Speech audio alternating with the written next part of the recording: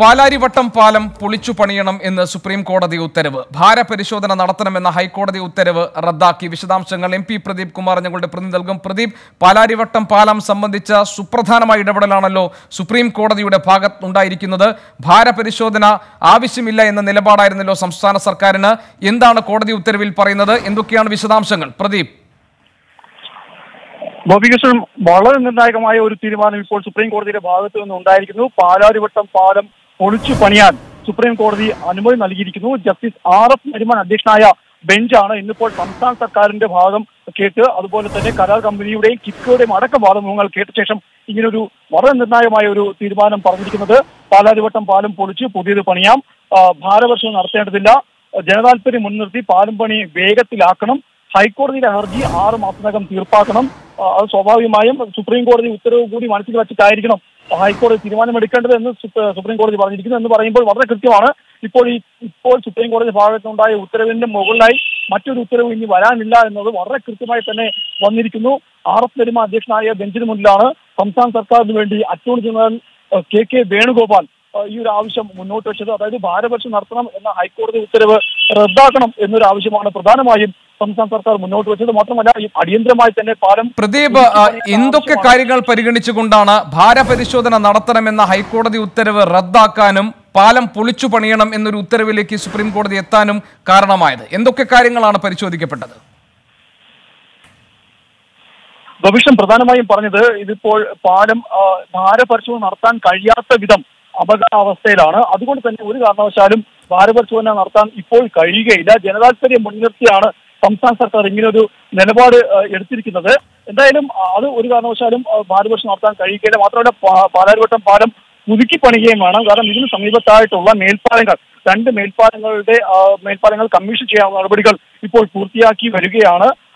വൈറ്റില കുണ്ടന്നൂർ പാലങ്ങൾ ഉടൻ തന്നെ കമ്മീഷൻ ചെയ്യും. അതുകൊണ്ട് ആ സമയത്ത് സ്വാഭാവികമായും ഈ പാലാരിവട്ടത്ത് ഗതാഗത കുരുക്കുണ്ടാകും. വലിയ തോതിലുള്ള ഗതാഗത പ്രശ്നമുണ്ടാകും. അതിനാൽ തന്നെ എത്രയും വേഗം അടിയന്തരമായി തന്നെ പാലം പുതുക്കി പണിയാനുള്ള ഉത്തരവ് അല്ലെങ്കിൽ അതിനുള്ള അനുമതി പ്രദീപ് ഈ മണിക്കൂറിൽ ഏറ്റവും പ്രധാനപ്പെട്ട വിവരമാണ് പ്രദീപ് ഇപ്പോൾ സുപ്രീം കോടതിയുടെ വിധിയുടെ പശ്ചാത്തലത്തിൽ ഇപ്പോൾ നൽകിക്കൊണ്ടിരിക്കുന്നത്. പ്രദീപ് ഈ പാലം പൊളിച്ചു പണിയണം എന്ന് കോടതി പറയുമ്പോൾ ഈ പാലം പണിതതുമായി ബന്ധപ്പെട്ടുണ്ടായിട്ടുള്ള നഷ്ടം അതാരാണ് നികത്തേണ്ടത്? അതാരുടെ ഉത്തരവാദിത്വമാണ്? ബാധ്യതയാണ്. ഈ കാര്യം കോടതി വ്യക്തമാക്കുന്നുണ്ടോ? ഗോപികൃഷ്ണൻ അത്തരം കാര്യങ്ങളിലേക്ക് ഒന്നും തന്നെ കോടതി പോയില്ല. കോടതി ഇന്നിപ്പോൾ ഈ സംസ്ഥാന സർക്കാരിന്റെ അപ്പീൽ മാത്രം പരിഗണിച്ചുകൊണ്ട് അതിനും അതിന്റെ ചുറ്റിലും മാത്രം നിന്നുകൊണ്ടുള്ള ഒരു വാദമുഖങ്ങളാണ് കോടതി കേട്ടത്. അതല്ലാതെ മറ്റ് വിജിലൻസ് കേസുകളിലേക്കോ അല്ലെങ്കിൽ ഇതുമായി ബന്ധപ്പെട്ട അഴിമതി ആരോപണങ്ങളിലേക്കോ ഒന്നും തന്നെ കോടതി കടന്നില്ല. പകരം ഇത് ജനതാൽപര്യം മുൻനിർത്തി ഈ പാലത്തിന്റെ വേഗ പണി അത് വേഗത്തിലാക്കണം. പാലം പുതിയ പാലം പണിയാൻ പണിയാൻ അനുമതി നൽകുകയായിരുന്നു സുപ്രീം കോടതി. അതല്ലാതെ മറ്റു കാര്യങ്ങളിലേക്ക് അതായത് ഇത് എങ്ങനെയാണ് ഈ പാലത്തിന് ഇങ്ങനെ ഒരു ദുർഗതി ഉണ്ടായതെന്ന് തുടങ്ങിയ കാര്യങ്ങളൊന്നും തന്നെ സുപ്രീം കോടതിയുടെ ഭാഗത്ത് നിന്ന് ഒരു കൃത്യമായ ഒരു ഒരു അങ്ങനെ നിലപാടിലേക്ക് സുപ്രീം കോടതി പോയില്ല. പകരം ഈ പാ പുതു പാലം പുതുക്കി പണിയണം എന്ന ആവശ്യത്തിൽ മാത്രം ചുറ്റി നിന്നുകൊണ്ട് അല്ലെങ്കിൽ ഭാരപക്ഷം നടത്താൻ കഴിയില്ല എന്ന സംസ്ഥാന സർക്കാരിന്റെ ആ ഒരു അപ്പീൽ അതിനെ മാത്രം ചുറ്റി നിന്നുകൊണ്ടാണ് അതിന് മാത്രം ബേസ് ചെയ്തുകൊണ്ടാണ് ഇന്നിപ്പോൾ ഈ സുപ്രീം കോടതി ഇങ്ങനെ ഒരു നിലപാട് വ്യക്തമാക്കിയിരിക്കുന്നത്. ശരി പ്രദീപ് പാലാരിവട്ടം പാലത്തെ സംബന്ധിച്ച് സർക്കാരിന് മുന്നിൽ പലതരത്തിലുള്ള നിർദ്ദേശങ്ങൾ വന്നിട്ടുണ്ട്. ഇതേ നിലയിൽ ഇതിന്റെ ഘടന നിലനിർത്തിക്കൊണ്ട് ഇത് പുതുക്കി പണിയാൻ കഴിയും എന്നുള്ള നിർദ്ദേശം സർക്കാരിന് ലഭിച്ചതാണ്. അതൊന്നുമല്ല പാലം പൂർണമായും പൊളിച്ചു പണിയണം എന്ന് വ്യക്തമാക്കുകയാണോ സുപ്രീം കോടതി ചെയ്തത്? ഗോപികൃഷ്ണൻ ഇത് പ്രധാനമായും ഈ ഉത്തരവ് പറഞ്ഞു തുടങ്ങുമ്പോൾ തന്നെ ജസ്റ്റിസ് ആർ എഫ് നരിമാൻ അധ്യക്ഷനായ ബെഞ്ച് രണ്ട് റിപ്പോർട്ടുകൾ സംസ്ഥാന സർക്കാരിന്റെ പക്കലുള്ളതിനെ പറ്റി എടുത്തു കാണിക്കുകയുണ്ടായി. കാരണം വെച്ചാൽ അത് attorney general K K Venugopal അദ്ദേഹത്തിന്റെ വാദമുഖത്ത് വാദമുഖങ്ങൾ അവതരിപ്പിക്കുമ്പോൾ പറഞ്ഞ കാര്യമാണ്. അതിൽ ഒന്ന് ഐ ഐ ടി ചെന്നൈ നൽകിയ റിപ്പോർട്ടാണ്. ഈ പാലത്തിന്റെ നിർമ്മാണവും അതുപോലെ തന്നെ അത് പുതുക്കി പണിയേണ്ട ആവശ്യവുമായിട്ടെല്ലാം ബന്ധപ്പെട്ട് ഐ ഐ ടി ചെന്നൈ നൽകിയ റിപ്പോർട്ട് അതുപോലെ ഈ ശ്രീധരൻ നൽകിയ റിപ്പോർട്ട്. അതിൽ ഈ ശ്രീധരൻ മുഖ്യമന്ത്രിക്ക് നൽകിയ റിപ്പോർട്ടിൽ വ്യക്തമാക്കിയിട്ടുള്ളത് പാലം നിർമ്മി പുതുക്കി പണിഞ്ഞു കഴിഞ്ഞാൽ അതിന് നൂറ് വർഷം ഗ്യാരണ്ടിയാണ് ഈ ശ്രീധരൻ ഉറപ്പ് നൽകിയത്. ഈ ഒരു ഉറപ്പ് നൽകിയ കാര്യം അടങ്ങുന്ന ആ റിപ്പോർട്ടും കൂടി ഇപ്പോൾ ഇദ്ദേഹത്തിന്റെ ഉത്തരവിൽ പരാമർശിക്കുകയുണ്ട് അങ്ങനെ ഇത് രണ്ടും അത് മാത്രമല്ല ഇതൊരു വിദഗ്ധ സമിതിയാണ്. ഇപ്പോൾ ഈ പാലം പുനർനിർമ്മിക്കണം അല്ലെങ്കിൽ പാലം പുതുക്കി പണിയണം എന്നൊരു തീരുമാനത്തിൽ മുന്നോട്ട് വച്ചത്. അതിന്റെ അടിസ്ഥാനത്തിലാണ് സംസ്ഥാന സർക്കാർ ഇങ്ങോട്ട് തീരുമാനത്തിലേക്ക് പോയത്. എന്നുള്ള എ ജിയുടെ ആ പരാമർശങ്ങളെല്ലാം തന്നെ കോടതി രേഖപ്പെടുത്തി. ഇതിനെല്ലാം ശേഷമാണ് അതുപോലെ തന്നെ ഭാരപരിശോധന നടത്തണം എന്ന ആവശ്യപ്പെട്ടുകൊണ്ട് കരാർ കമ്പനിക്കാരും ഒപ്പം കിറ്റ്കോയുടെ നിലപാടുകൾ അതും കോടതി രേഖപ്പെടുത്തിയതിനു ശേഷമാണ് കോടതി വളരെ കൃത്യമായ നിലപാട് വ്യക്തമാക്കിയത്. പാലം പുതുക്കി പണിയാം. അതിന് യാതൊരു തടസ്സവുമില്ല. അതിന് അനുഭവം നൽകിയിരിക്കുന്നു. ജനതാൽപര്യം മുൻനിർത്തി പാലത്തിന്റെ പണി വേഗത്തിലാക്കണം എന്നൊരു കാര്യം കൂടി സുപ്രീം കോടതി പറഞ്ഞു വച്ചിരിക്കുന്നു. ഇതിന് ഒരു കാലപരിധി ഒരു സമയപരിധി നിശ്ചയിച്ചിട്ടുണ്ടോ പ്രദീപ്? ഇതുമായി ബന്ധപ്പെട്ട് എന്തെങ്കിലും പരാമർശങ്ങൾ സുപ്രീം കോടതി ഉത്തരവിലുണ്ടോ? പ്രതീക്ഷ ഇപ്പോൾ ഇതിനൊരു ഒരു സമയപരിധി വച്ചിട്ടില്ല. എത്രയും വേഗം എന്നാണ് ഇപ്പോൾ ജസ്റ്റിസ് ആർ എഫ് നരിമാൻ പ്രത്യേകമായിട്ട് വ്യക്തമാക്കിയത്. അതായത് ഇപ്പോൾ ഈ പറയുന്നത് പോലെ തന്നെ പാലം എത്രയും വേഗം തന്നെ ജനങ്ങൾക്ക് തുറന്നു കൊടുക്കേണ്ടതുണ്ട്. അതുകൊണ്ട് തന്നെ എത്രയും വേഗം അത് ആ- ആ പോസിബിൾ എന്ന മട്ടിലാണ് അദ്ദേഹത്തിന്റെ ഭാഗത്ത് നിന്ന് ഒരു നിരീക്ഷണം ഉണ്ടായത് അതുകൊണ്ട് തന്നെ അത് എത്രയും വേഗം തന്നെ ഇനി സംസ്ഥാന സർക്കാരിന് പാലം പണി ആരംഭിക്കാം വേഗത്തിൽ ആരംഭിക്കാം വേഗത്തിൽ തന്നെ പാല പാലം നിർമ്മാണം നടത്തി അത് ജനങ്ങൾക്ക് തുറന്നു കൊടുക്കാനും കഴിയും. അതിനുള്ള എല്ലാ തടസ്സങ്ങളും ഇപ്പോഴുണ്ടായിരുന്ന എല്ലാ തടസ്സങ്ങളും ഇപ്പോൾ നീങ്ങിയിരിക്കുന്നു. ഗോപികൃഷ്ണൻ ശരി പ്രദീപ് ഞാൻ വരാം. എം പി പ്രദീപ് കുമാർ ഞങ്ങളുടെ പ്രതിനിധി വിശദാംശങ്ങൾ നൽകുകയായിരുന്നു. പാലാരിവട്ടം പാലം പൊളിച്ചു പണിയണം എന്നാണ് സുപ്രീം കോടതിയുടെ ഉത്തരവുണ്ടായിരിക്കുന്നത്. ഭാരപരിശോധന നടത്തണം എന്ന ഹൈക്കോടതി ഉത്തരവ് റദ്ദാക്കുകയും ചെയ്തിരിക്കുന്നു. എത്രയും വേഗം പാലാരിവട്ടം പാലം പൊളിച്ചു പണിത് ജനങ്ങൾക്ക് തുറന്നു കൊടുക്കണം എന്ന ആവശ്യമാണ് ഈ ഉത്തരവിലൂടെ സുപ്രീം കോടതി വ്യക്തമാക്കിയിരിക്കുന്നത്. സംസ്ഥാന സർക്കാരിന് ഇതിനുള്ള നിർദ്ദേശം നൽകിയിരിക്കുകയാണ് സുപ്രീം കോടതി. പാലാരിവട്ടം പാലം അഴിമതിയുമായി ബന്ധപ്പെട്ട കാര്യങ്ങളിലേക്ക് കോടതി കടന്നിട്ടില്ല. വിജിലൻസ് അന്വേഷണങ്ങളുമായി ബന്ധപ്പെട്ട കാര്യങ്ങളിലേക്ക് കോടതി കടന്നിട്ടില്ല. ഇതിന്റെ നഷ്ടപരിഹാരം ആരാണ് നികത്തേണ്ടത്? ഇതിന്റെ ബാധ്യത ആരാണ് വഹിക്കേണ്ടത് എന്ന കാര്യങ്ങളിലേക്ക് കോടതി കടന്നിട്ടില്ല. കോടതി സുപ്രീം കോടതി ഈ കാര്യത്തിൽ പറഞ്ഞിട്ടുള്ള വ്യക്തമാക്കിയ ഒരേ ഒരു കാര്യം പാലാരിവട്ടം പാലം പൊളിച്ചു പണിയണം എന്നുള്ളതാണ് ഈ മണിക്കൂറിൽ ഏറ്റവും പ്രധാനപ്പെട്ട വിവരം ഇപ്പോൾ പുറത്തു വരുന്നത് സുപ്രീം കോടതി ഉത്തരവിലാണ്. സർക്കാർ ആവശ്യം സുപ്രീം കോടതി അംഗീകരിച്ചിരിക്കുന്നു. ഭാരപരിശോധന നടത്തണമെന്ന ഹൈക്കോടതി ഉത്തരവ് റദ്ദാക്കിയിരിക്കുന്നു. പാലം പണി വേഗത്തിലാക്കണം എന്ന നിർദ്ദേശം കൂടി സുപ്രീം കോടതി നൽകിയിട്ടുണ്ട്. സ്വാഭാവികമായും പാലാരിവട്ടം പാലം അഴിമതി കേസുമായി ബന്ധപ്പെട്ട് നിലനിൽക്കുന്ന സംശയങ്ങൾ അതോട് അതുമായി ബന്ധപ്പെട്ട് നിലനിൽക്കുന്ന അവ്യക്തതകൾ അതിൽ മറ്റൊരു തരത്തിലുള്ള ഇടപെടലും സുപ്രീം കോടതി ഇപ്പോൾ നടത്തിയിട്ടുള്ള കേസിന്റെ മെറിറ്റിൽ ഇപ്പോൾ പറഞ്ഞിരിക്കുന്നത് പാലാരിവട്ടം പാലം പൊളിച്ചു പണിയണം എന്നുള്ളതാണ്. സർക്കാരിന്റെ ആവശ്യം ആ നിലയിൽ സുപ്രീം കോടതി അംഗീകരിച്ചിട്ടുണ്ട്. ഭാരപരിശോധന നടത്തണം എന്നതായിരുന്നു ഹൈക്കോടതി ഉത്തരവിലുണ്ടായിരുന്നത്. ആ ഉത്തരവ് കോടതി റദ്ദാക്കുകയും ചെയ്തു. ഭാരപരിശോധന നിലവിലെ സാഹചര്യത്തിൽ ആവശ്യമില്ല. മറിച്ച് പാലാരിവട്ടം പാലം പൊളിച്ച് പുതുക്കി പണിയുകയാണ് വേണ്ടത്. ജനങ്ങൾക്ക് അത് എത്രയും വേഗം ഗതാഗത യോഗ്യമാക്കി കൊടുക്കണം എന്ന ആവശ്യമാണ് സുപ്രീം കോടതി ഉത്തരവിൽ അടങ്ങിയിരിക്കുന്നത്. അതോടൊപ്പം തന്നെ ഇതിന് പ്രത്യേകിച്ചൊരു സമയപരിധി കോടതി നിശ്ചയിച്ചിട്ടില്ല. അത് എത്രയും വേഗം നടത്തണം എന്ന് മാത്രമാണ് കോടതിയുടെ ഉത്തരവിൽ പറഞ്ഞിരിക്കുന്നത്. എം പി പ്രദീപ് കുമാർ ഞങ്ങളുടെ പ്രതിനിധി വിശദാംശങ്ങൾ നൽകുകയായിരുന്നു ഡൽഹിയിൽ നിന്ന്. നിയമസഭാ കയ്യാങ്കളി കേസിൽ സർക്കാരിന് തിരിച്ചടി. കേസ് പിൻവലിക്കണം എന്ന സർക്കാർ അപേക്ഷ കോടതി തള്ളി. തിരുവനന്തപുരം ചീഫ് ജുഡീഷ്യൽ മാജിസ്ട്രേറ്റ് കോടതിയുടേതാണ് ഈ നടപടി. മന്ത്രി ഇ പി ജയരാജൻ ഉൾപ്പെടെ ആറ് എം കേസിലെ പ്രതികൾ.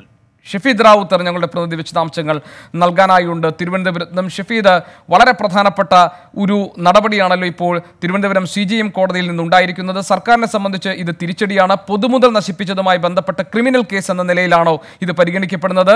എന്താണ് കോടതി ഇക്കാര്യത്തിൽ നടത്തിയിട്ടുള്ള പരാമർശങ്ങൾ? വിശദാംശങ്ങൾ എന്തൊക്കെ? ഗോപികൃഷ്ണൻ രണ്ടായിരത്തി പതിനഞ്ച് മാർച്ചിലാണ് ഈ കേസിന് ആസ്പദമായ സംഭവം നടന്നത്. ബാർക്കോഴ കേസിൽ ആരോപണ വിധേയനായ മന്ത്രി കെ എം മാണിയുടെ ബജറ്റ് അവതരണം തടസ്സപ്പെടുത്തുന്നതിനിടെ രണ്ടു ലക്ഷം രൂപയുടെ പൊതുമുതൽ നശിപ്പിച്ചുവെന്നാണ് കുറ്റപത്രത്തിൽ പറഞ്ഞിരുന്നത്. നിലവിൽ മന്ത്രിമാരായ K T Jaleel E P Jayarajan ഉൾപ്പെടെ അന്നത്തെ ആറ് പ്രതിപക്ഷ എം എൽ എമാരായിരുന്നു കേസിൽ പ്രതികളായിട്ടുള്ളത്. പിണറായി വിജയൻ സർക്കാർ അധികാരത്തിൽ വന്നതിനു ശേഷം V Sivankutty M L A നൽകിയ അപേക്ഷയിന്മേലാണ് സർക്കാർ കേസ് പിൻവലിക്കണമെന്ന് ആവശ്യപ്പെട്ട് കോടതിയെ സമീപിച്ചത്. ഇതിനെതിരെ പ്രതിപക്ഷ നേതാവ് രമേശ് ചെന്നിത്തല തടസ്സ ഹർജി നൽകിയിരുന്നു.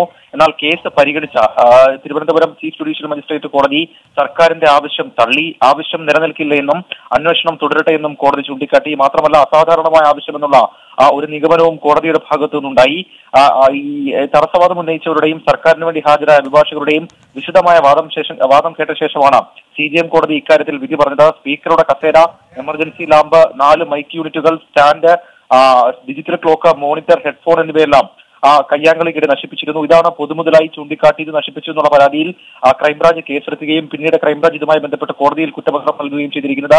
ഏതായാലും ഇക്കാര്യത്തിൽ കോടതി സർക്കാരിനെ സംബന്ധിച്ചിടത്തോളം സർക്കാരിന് ഇതൊരു തിരിച്ചടി തന്നെയാണ്. പ്രതിപക്ഷം ഇക്കാര്യത്തിൽ അവരുടെ നിലപാട് അറിയിക്കുകയും ചെയ്തു. അതായത് ഈ കയ്യാങ്കളിക്ക് നേതൃത്വം നൽകിയവർക്ക് ശിക്ഷ വാങ്ങി കൊടുക്കുന്നത് വരെ കേസുമായി മുന്നോട്ട് പോകുമെന്ന് പ്രതിപക്ഷ നേതാവ് രമേശ് ചെന്നിത്തലയും അറിയിച്ചിട്ടുണ്ട്. ഏതായാലും മുഖ്യമന്ത്രിയുടെ വാർത്താ സമ്മേളനം വരും മണിക്കൂറുകൾ ഉണ്ടാകും.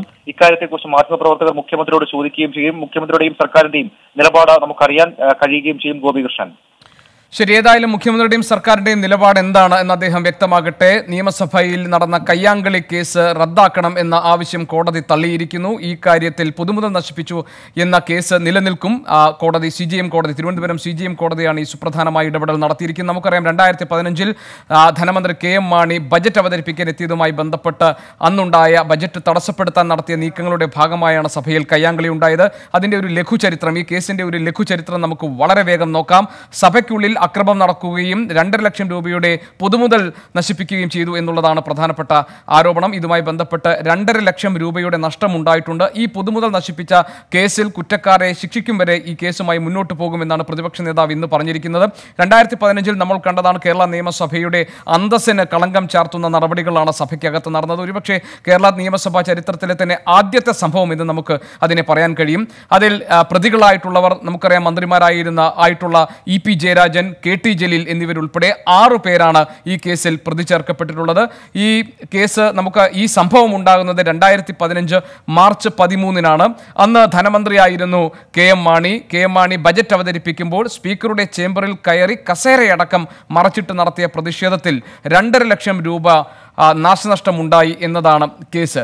ഈ കേസ് തേച്ചു മാച്ച് കളയാൻ അല്ലെങ്കിൽ ഈ കേസ് പിൻവലിക്കാൻ വേണ്ടിയുള്ള നടപടികൾ അല്ലെങ്കിൽ അതിനുള്ള നീക്കങ്ങൾ നടന്നിരുന്നു. ആ നീക്കത്തിനേറ്റിട്ടുള്ള തിരിച്ചടിയായി വേണം ഇപ്പോഴത്തെ സി ജി എം കോടതിയുടെ ഇടപെടലിനെ കാണാൻ. കാരണം പൊതുമുതൽ നശിപ്പിച്ച കേസിൽ ഈ കാര്യത്തിൽ ഒരു വിട്ടുവീഴ്ച സാധ്യമല്ല എന്ന നിലപാട് പ്രതിപക്ഷവും സ്വീകരിച്ചിരിക്കുകയാണ്. നിയമസഭാ സെക്രട്ടറിയുടെ പരാതിയിൽ അന്നത്തെ ആറ് എം എൽ എമാർക്കെതിരെയാണ് പൊതുമുതൽ നശീകരണ നിയമപ്രകാരം ജാമ്യമില്ലാ വകുപ്പ് ചുമത്തി കന്റോൺമെന്റ് പോലീസ് കേസ് രജിസ്റ്റർ ചെയ്തത്. അതിൽ E P Jayarajan K T Jaleel K Ajith K T Kunju Muhammad തുടങ്ങി ശിവൻകുട്ടി തുടങ്ങി ആറ് എം എൽ എമാർ ഈ കേസിൽ പ്രതികളാവുകയും ചെയ്തിട്ടുണ്ട്.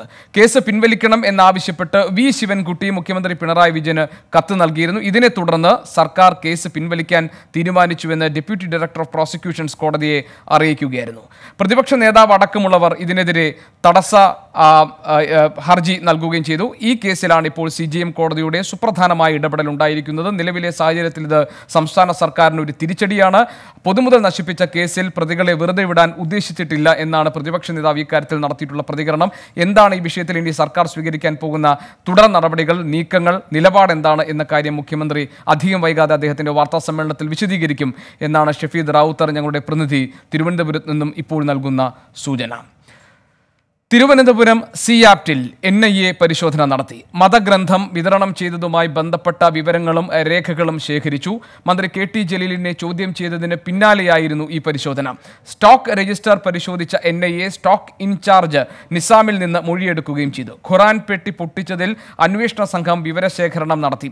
സി ആപ്റ്റിലെ ആരൊക്കെ സിയാപ്റ്റിൽ ഖുറാൻ കൊണ്ടുപോയി എന്ന കാര്യവും എൻ ഐ എ അന്വേഷിച്ചു വരികയാണ്. വിശദാംശങ്ങളെ ശ്രീകാന്ത് ഞങ്ങളുടെ പ്രതിനിധി നൽകും. ശ്രീകാന്ത് ഇന്ന് എൻ ഐ എ സിയാപ്റ്റിൽ നടത്തിയ പരിശോധനയ്ക്ക് പ്രത്യേക പ്രാധാന്യമുണ്ട്. കാരണം ഈ വിഷയവുമായി ബന്ധപ്പെട്ട് മന്ത്രി കെ ടി ജലീലിനെ ചോദ്യം ചെയ്തതിന് തൊട്ടു പിന്നാലെയാണ് സിയാപ്റ്റിലെത്തി എൻ ഐ എ പരിശോധന നടത്തിയിരിക്കുന്നത്. എന്തൊക്കെ കാര്യങ്ങളാണ് എൻ ഐ എ ഈ പരിശോധനയിലൂടെ ഏതൊക്കെ വിവരങ്ങൾ ശേഖരിക്കാനാണ് എൻ ഐ എ ഉദ്യോഗസ്ഥർ ശ്രമിച്ചത്?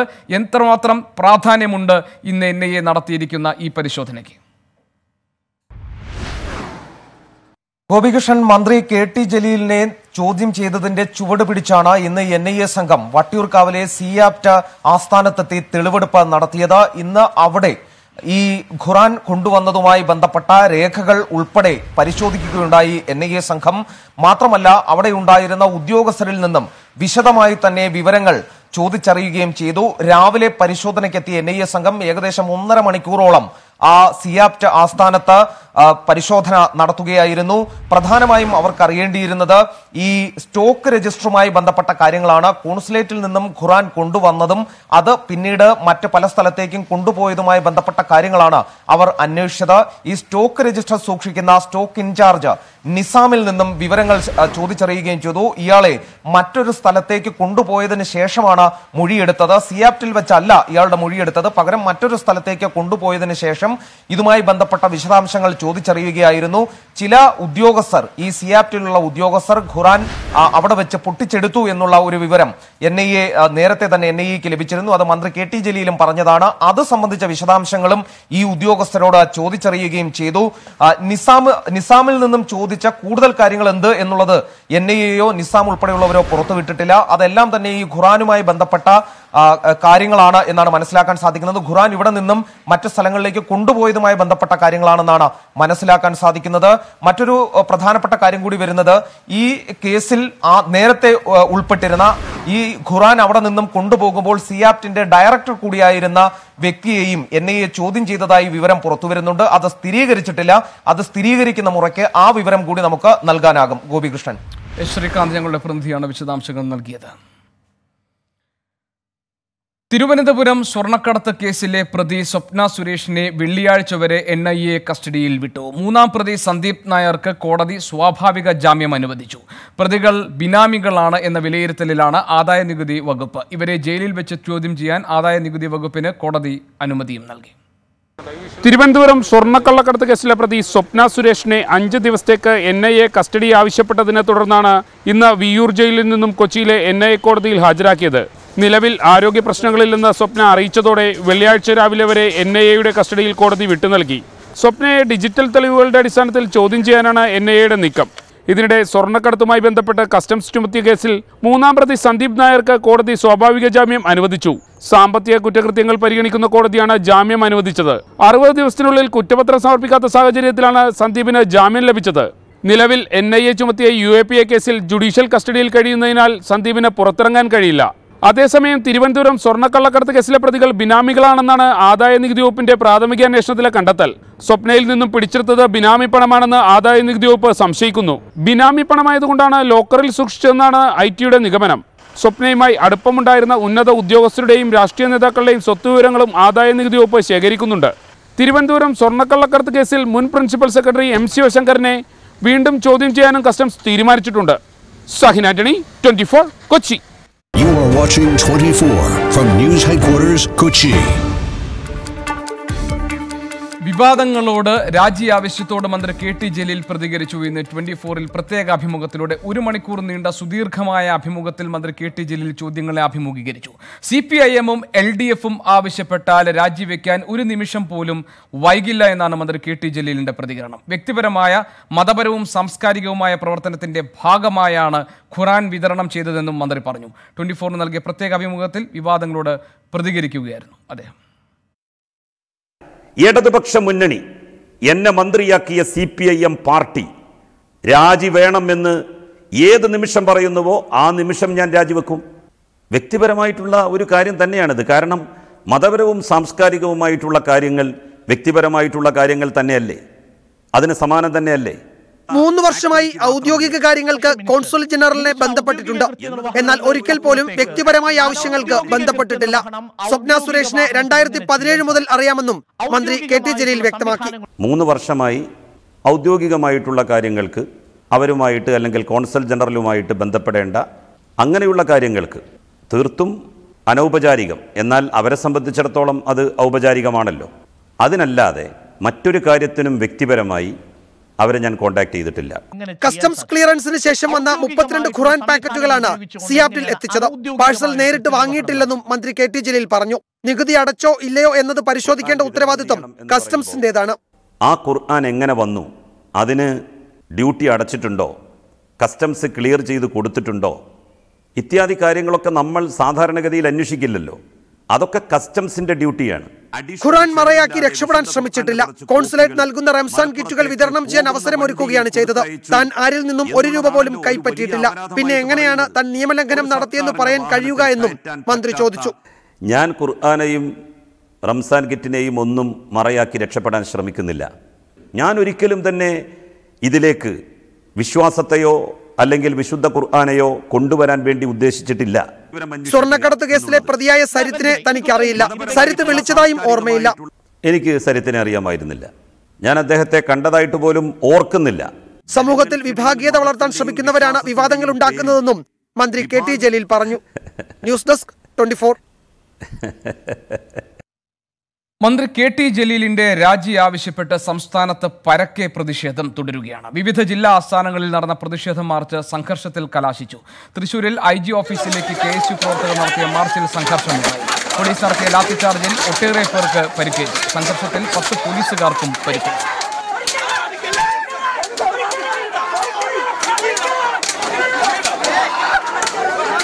ചാവക്കാട് താലൂക്ക് ഓഫീസിലേക്ക് ബി ജെ പി പ്രവർത്തകർ പ്രതിഷേധ മാർച്ച് നടത്തി റോഡിൽ കുത്തിയിരുന്ന് മുദ്രാവാക്യം വിളിച്ച പ്രവർത്തകരെ പോലീസ് അറസ്റ്റ് ചെയ്ത് നീക്കി.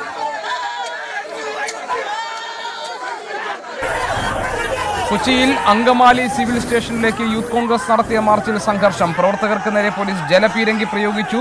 യൂത്ത് കോൺഗ്രസ് പ്രവർത്തകരെ പോലീസ് മർദ്ദിച്ചതിൽ പ്രതിഷേധിച്ചായിരുന്നു മാർച്ച്. പ്രവർത്തകരെ പോലീസ് അറസ്റ്റ് ചെയ്ത് നീക്കി.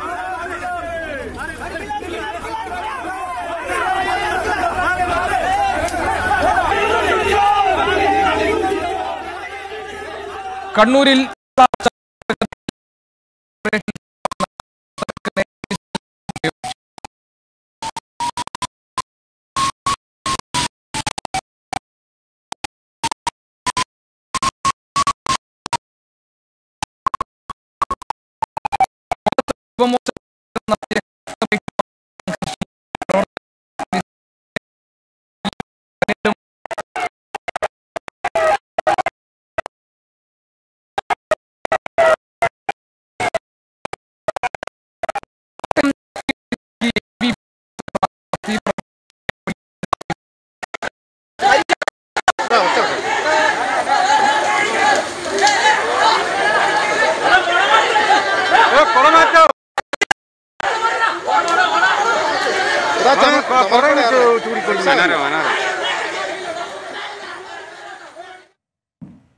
മന്ത്രി കെ ടി ജലീലിന്റെ രാജി ആവശ്യപ്പെട്ട് കേരളത്തിന്റെ വിവിധ ജില്ലകളിൽ നടന്ന പ്രതിഷേധ മാർച്ചുകളും പോലീസ് നേരിട്ട രീതിയും അതിന്റെ മറ്റു വിശദാംശങ്ങളും ഒക്കെയാണ് നമ്മളിപ്പോൾ ദൃശ്യങ്ങളിൽ കണ്ടത്. വിശദാംശങ്ങൾ നൽകാൻ തൃശ്ശൂരിൽ നിന്നുള്ള വിവരങ്ങൾ നൽകാൻ ഞങ്ങളുടെ പ്രതിനിധി സുദിഷ ധർമ്മനുണ്ട്. സുദിഷ ആ, തൃശ്ശൂരിലെ കെ എസ് മാർച്ച് അക്രമാസക്തമായോ? എങ്ങനെയാണ് പോലീസ് പ്രതിഷേധക്കാരെ നേരിട്ടത്? എന്താണ് നിലവിലെ സാഹചര്യം?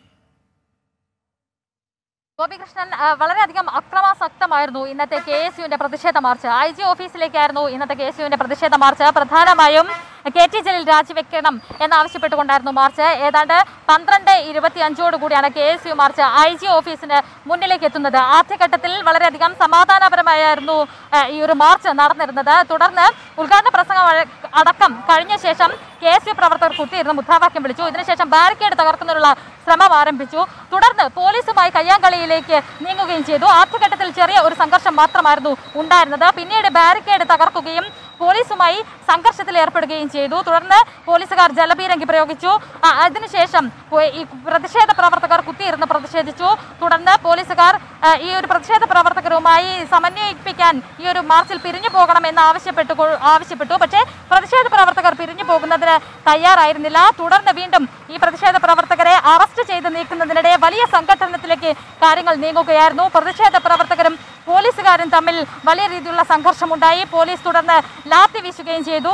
തുടർന്ന് അറസ്റ്റ് ചെയ്ത് നീക്കുന്നതിനിടെ കെ എസ് യു പ്രവർത്തകർ നാല് ഭാഗവും പരന്നോടുകയായിരുന്നു. ഇതിന് പിറകെ പോലീസുകാരും തുടർന്നോടി. അതിനുശേഷം ഈ കാണുന്ന ഹൈവേയിലേക്ക് അടക്കം ഈ വാഹനങ്ങൾ കടന്നു പോകുന്നതിലെ ഇടയിലേക്ക് അടക്കം ഈ കെ യു പ്രവർത്തകർ ഓടുകയും പിറകെ പോലീസുകാരും ഓടുന്നതടക്കമുള്ള സംഭവ വികാസങ്ങൾ നടന്നു. അത്തരത്തിൽ വളരെയധികം സംഘർഷഭരിതമായിരുന്നു. ഇന്നത്തെ തൃശൂർ ജില്ലയിലെ K S U mark march നിരവധി പേർക്ക് നിരവധി കെ എസ് യു പ്രവർത്തകർ പ്രവർത്തകർക്ക് ഒപ്പം തന്നെ തൃശ്ശൂരിലെ കെ എസ് യു മാർച്ചിന്റെ വിശദാംശങ്ങളാണ് സുദിഷ ഞങ്ങളുടെ പ്രതിനിധി നൽകിയത് തൃശൂരിൽ നിന്ന്.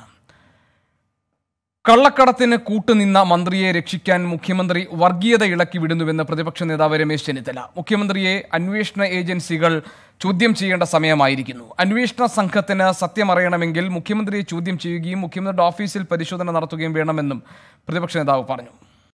ഈ സംസ്ഥാനത്തിന്റെ ചരിത്രത്തിൽ ഒരിക്കലും ഉണ്ടാകാത്ത നിലയിൽ സ്വർണ കള്ളക്കടത്തിൽ മന്ത്രി കൂട്ടുനിന്നാൽ ആ മന്ത്രിയെ രക്ഷിക്കാൻ വർഗീയത ഇളക്കിവിടുന്ന നടപടിയാണ് മുഖ്യമന്ത്രി സ്വീകരിക്കുന്നത്.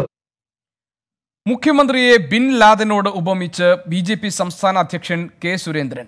ബിൻ ലാദൻ തോക്ക് പിടിച്ച് ചെയ്യുന്നത് പിണറായി ജനങ്ങളെ ഉപയോഗിച്ച് ചെയ്യുകയാണെന്ന് കെ സുരേന്ദ്രൻ പറഞ്ഞു. വർഗീയ ധ്രുവീകരണം നടത്തി രക്ഷപ്പെടാനാണ് മുഖ്യമന്ത്രി ശ്രമിക്കുന്നതെന്നും വർഗീയവാദികളെ കൂട്ടുപിടിക്കുന്നതിൽ സി വലിയ വിഭാഗത്തിന് കടുത്ത അമർഷമുണ്ടെന്നും കെ സുരേന്ദ്രൻ ഖുറാന്റെ മറവിൽ സ്വർണം കടത്തിയിട്ടുണ്ടാകാം എന്ന് കെ ടി ജലീൽ തന്നെ സമ്മതിക്കുമ്പോൾ മുഖ്യമന്ത്രി വാക്കുമാറ്റി പറയണമെന്നും കെ സുരേന്ദ്രൻ കാസർകോട് പ്രതികരിച്ചു. മുഖ്യമന്ത്രി പുതിയ ബിൻ ലാദനാവാൻ ശ്രമിക്കുകയാണ് കേരളത്തിൽ. ഇവിടെ തീവ്രവാദ സംഘടനകളുടെ സഹായത്തോടുകൂടി വർഗീയ ധ്രുവീകരണം ഉണ്ടാക്കി തെരഞ്ഞെടുപ്പിൽ രക്ഷപ്പെടാനാവുമോ എന്നാണ് പിണറായി വിജയൻ പരിശ്രമിക്കുന്നത്. ഖുറാന്റെ മറവിൽ സ്വർണം കടത്തിയിട്ടുണ്ടാവാം എന്ന് ജലീൽ തന്നെ സമ്മതിച്ചിരിക്കെ. മുഖ്യമന്ത്രി നേരത്തെ പറഞ്ഞ കാര്യങ്ങൾ മാറ്റി പറയാൻ തയ്യാറുണ്ടോ? സംസ്ഥാന സർക്കാരിനെ അട്ടിമറിക്കാൻ പ്രതിപക്ഷം ശ്രമിക്കുന്നുവെന്ന് സി പി ഐ എം സംസ്ഥാന സെക്രട്ടറി കോടിയേരി ബാലകൃഷ്ണൻ. പോലീസിനെയും മന്ത്രിമാരെയും ആക്രമിച്ച് പ്രതിപക്ഷം കലാപത്തിന് ശ്രമിക്കുകയാണ്. കോർപ്പറേറ്റുകളുടെ ഫണ്ട് വാങ്ങിയാണ് പ്രതിപക്ഷ സമരമെന്നും കോടിയേരി ബാലകൃഷ്ണൻ ആരോപിച്ചു. ഇടതുപക്ഷം വീണ്ടും വന്നാൽ ആർ എസ് എസിന്റെ അജണ്ട ഇവിടെ നടക്കാൻ പോകുന്നില്ല. മതന്യൂനപക്ഷങ്ങളെയും പിന്നോക്ക സമുദായത്തിൽപ്പെട്ടവരെയും ജനാധിപത്യ ശക്തികളെയും ആക്രമിക്കാനുള്ള ആർ എസ് എസിന്റെ അജണ്ട ഇവിടെ നടപ്പാവുകയില്ല ഇടതുപക്ഷം അധികാരത്തിൽ വന്നാൽ. അത് മനസ്സിലായിക്കൊണ്ടാണ് തുല്യ ദുഃഖിതന്മാരായ കോൺഗ്രസും മുസ്ലിം ലീഗും ബി ജെ പിയും ഒത്തുചേർന്നുകൊണ്ടുള്ള രാഷ്ട്രീയ തന്ത്രങ്ങൾ ഇവിടെ ആവിഷ്കരിക്കുന്നത്. മന്ത്രിമാരെ വഴിയിൽ ആക്രമിക്കുന്നു. അരാജകത്വ സൃഷ്ടിക്കാരാണ് കലാപ സൃഷ്ടിക്കാരാണ് അങ്ങനെ ഇടതുപക്ഷ ഭരണത്തിൽ You are watching 24. മറ്റു വാർത്തകളിലേക്ക് പോകാം. പ്രതിപക്ഷം പൂർണമായി രാജ്യസഭ ബഹിഷ്കരിച്ചു. കാർഷിക ബിൽ പാസാക്കിയ രീതിയിൽ പ്രതിഷേധിച്ചാണ് തീരുമാനം. എം പിമാരെ പുറത്താക്കിയതിലും വിയോജിപ്പ് അറിയിച്ചു അച്ചടക്ക ലംഘനം കാണിച്ച എം പിമാർ മാപ്പ് പറയണമെന്ന നിലപാടിൽ ഉറച്ചു നിൽക്കുകയാണെന്ന് സഭാധ്യക്ഷൻ വെങ്കയ്യ നായിഡു പറഞ്ഞു. പ്രതിപക്ഷത്തിന്റെ സമീപനത്തിൽ പ്രതിഷേധിച്ച് രാജ്യസഭ ഉപാധ്യക്ഷൻ നാളെയും നിരാഹാരം തുടരും. അതേസമയം അവശ്യ വസ്തുക്കളുടെ ഭേദഗതി ബിൽ പ്രതിപക്ഷത്തിന്റെ അസാന്നിധ്യത്തിൽ രാജ്യസഭ പാസാക്കി. വിശദാംശങ്ങൾ ആർ രാധാകൃഷ്ണൻ നൽകും. ആർക്കെ കഴിഞ്ഞ രണ്ട് ദിവസമായി പ്രക്ഷുബ്ധമാണ് പാർലമെന്റ് രാജ്യസഭയിൽ ശക്തമായ പ്രതിഷേധം ഉയർത്തുന്നുണ്ട്. പ്രതിപക്ഷം ഇന്ന് ഏത് നിലയിലാണ് ആ പ്രതിഷേധങ്ങൾ പ്രതിഷേധങ്ങളുടെ സ്വഭാവം ഏത് രീതിയിലായിരുന്നു? ബഹിഷ്കരിക്കാനുള്ള തീരുമാനവുമായി മുന്നോട്ട് പോകാൻ തന്നെയാണോ അംഗങ്ങൾ നിശ്ചയിച്ചിരിക്കുന്നത്? എന്തൊക്കെയാണ് വിശദാംശങ്ങൾ? ഗോപി ബഹിഷ്കരണ തീരുമാനവുമായി മുന്നോട്ട് പോകാൻ തന്നെയാണ് അംഗങ്ങൾ തീരുമാനിച്ചിരിക്കുന്നത്. ഒരു രാത്രി അവർ അംഗങ്ങൾ ഈ നടപടി നേരിട്ട അംഗങ്ങൾ അവരുടെ ധർണ തുടർന്നിരുന്നു. ഇതിന്റെ അടിസ്ഥാനത്തിൽ ഇന്ന് രാവിലെ ഒൻപത് മണിക്ക് സഭ സമ്മേളിച്ച സമയത്ത് ഉപാധികളില്ലാതെ ഈ നടപടി പിൻവലിക്കണം എന്നായിരുന്നു പ്രതിപക്ഷം ആവശ്യപ്പെട്ടത്. പക്ഷേ ഈ നടപടിയിൽ ഉറച്ചു നിൽക്കുന്നു എന്നായിരുന്നു വെങ്കയ്യ നായിഡുവിന്റെ മറുപടി. ജനാധിപത്യത്തിന്റെ ശ്രീകോവിൽ ജനപ്രതിനിധി എന്ന സ്ഥാനത്തെ അപമാനിക്കാനുള്ള ഇടമായി ഉപയോഗിക്കുന്നവർ അതിന്റെ ശിക്ഷ അനുഭവിക്കണം എന്നതായിരുന്നു അദ്ദേഹത്തിന്റെ നിലപാട്. ഈ നിലപാടുമായി മുന്നോട്ട് പോകുന്നതിന് കാരണമായിട്ട് അദ്ദേഹം ചില ചട്ടങ്ങളടക്കം ഉള്ള നടപടിക്രമങ്ങൾ വിശദീകരിച്ചു. എന്നാൽ ഇതിൽ പ്രതിപക്ഷം തൃപ്തരായില്ല. തുടർന്നാണ് പ്രതിപക്ഷം ബഹിഷ്കരണ തീരുമാനം പ്രഖ്യാപിച്ചത്. തുടർന്നുള്ള സമ്മേളന ദിവസങ്ങളിൽ സഭ ബഹിഷ്കരിക്കും. അഥവാ ഈ അംഗങ്ങൾക്കെതിരെയുള്ള സസ്പെൻഷൻ നടപടികൾ പിൻവലിക്കുന്നതുവരെ ഉപാധിയില്ലാതെ പിൻവലിക്കുന്നതുവരെ ബഹിഷ്കരണ തീരുമാനവുമായി പ്രതിപക്ഷം മുന്നോട്ട് പോകും. ഇതിന്റെ അടിസ്ഥാനത്തിലാണ് ബഹിഷ്കരണം നടത്തിയത്. ബഹിഷ്കരണം പ്രഖ്യാപിച്ചതിന് ശേഷവും തുടങ്ങിയതിന് ശേഷവും സഭാ നടപടികൾ മുന്നോട്ട് കൊണ്ടുപോയി. ബില്ലുകൾ പല ബില്ലുകളും ആ, കാർഷിക ബില്ലുകളിലെ മൂന്നാമത്തേതായിട്ടുള്ള എസൻഷ്യൽ കമ്മോഡിറ്റീസ് ആക്ടിന്റെ ഭേദഗതി. അതും രാജ്യസഭ ചർച്ച ചെയ്ത് പാസാക്കി. ഒരു മണിയോടുകൂടിയാണ് രാജ്യസഭ ഇന്നത്തെ നടപടികൾ അവസാനിപ്പിച്ച് പിരിഞ്ഞത്. ഏതായാലും ഈ വലിയ രീതിയിലുള്ള പ്രതിഷേധം ഇപ്പോഴും ഇന്നലത്തെ ഈ ഇന്നലെ അടക്കം നടന്ന വിഷയങ്ങളുമായി ബന്ധപ്പെട്ട് ഇപ്പോഴും നിലനിൽക്കുന്നുണ്ട്. രാഷ്ട്രപതിക്ക് പതിനെട്ട് പ്രതിപക്ഷ പാർട്ടികൾ കത്തയച്ചിട്ടുണ്ട്. അവർ രാഷ്ട്രപതിയെ കാണാനായിട്ടുള്ള തീരുമാനവും കൈക്കൊണ്ടിട്ടുണ്ട്. ഈ ഘട്ടത്തിലാണ് ഇപ്പോൾ കേന്ദ്ര സർക്കാർ ആവശ്യപ്പെടുന്നത്. മാപ്പ് പറഞ്ഞ് ഈ പ്രശ്നം അവസാനിപ്പിക്കണം എന്ന്. പ്രതിപക്ഷം അതിന് തയ്യാറായാൽ ഈ മാ- സസ്പെൻഷൻ നടപടി പിൻവലിക്കാനായിട്ട് ശുപാർശ ചെയ്യാം എന്നാണ് കേന്ദ്ര സർക്കാരിന്റെ അഭിപ്രായം. ആർ രാധാകൃഷ്ണൻ ഞങ്ങളുടെ പ്രതിനിധിയാണ് വിശദാംശങ്ങൾ നൽകിയത്. ഡൽഹിയിൽ നിന്ന് സംസ്ഥാനത്ത് ഒരു കോവിഡ് മരണം കൂടി. എറണാകുളം മുക്കന്നൂർ സ്വദേശി ദേവസി ഷാജുവാണ് മരിച്ചത്. അൻപത്തിമൂന്ന് വയസ്സായിരുന്നു. വിശദാംശങ്ങൾ കൊച്ചിയിൽ നിന്ന് സജോ ദേവസി നൽകും. സജോ വിവരങ്ങൾ എന്തൊക്കെ? ഗോപികൃഷ്ണൻ എറണാകുളത്ത് ഒരു കോവിഡ് മരണം കൂടി റിപ്പോർട്ട് ചെയ്തിരിക്കുകയാണ്. എറണാകുളം മുക്കന്നൂർ സ്വദേശിയും വാഴപ്പറമ്പിൽ ദേവസി ഷാജുവാണ് കോവിഡ് ബാധിച്ച് മരിച്ചത് അൻപത്തി മൂന്ന് വയസ്സായിരുന്നു. കണ്ണൂർ മർച്ചന്റ് അസോസിയേഷന്റെ പ്രതിനിധി കൂടിയാണ്.